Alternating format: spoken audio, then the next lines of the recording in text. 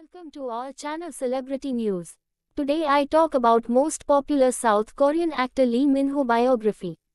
Lee Min-ho was born Monday, June 22, 1987, age 36 years, as of 2023, in Heuseopdong, Dongjak-jiu, Seoul, South Korea. His zodiac sign is Cancer. He did his schooling at Seoul Namseong Elementary School, Bunpo Middle School, and Dangok High School, all in Seoul, South Korea. He wanted to become a professional football player as a child. And he even attended South Korean manager and former professional player Cha Bum Koon's soccer classes. However, an injury in the fifth grade of elementary school put an end to his dreams. He began learning acting in the second year of high school. He did his bachelor's in film and arts at Konkuk University in Seoul. He earned a master's in film and art at Kookmin University, Seoul. Now let's talk about Lee Min-ho's salary. He is one of the highest paid actors in South Korea and charges 80,000 United States dollars per episode for a series, as of 2022. Personal life and legacy. His older sister, Lee Yong-young, serves as CEO of Mium Entertainment. The Korean agency he is presently associated with.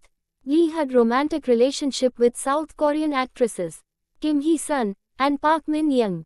He started dating South Korean singer Bae Suzy in 2015.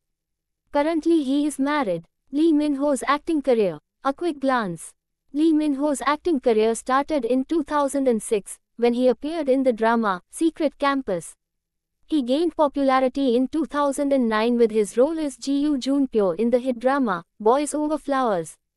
Since then, he has appeared in several popular dramas and movies, including City Hunter, The Heirs, Legend of the Blue Sea, and The King, Eternal Monarch.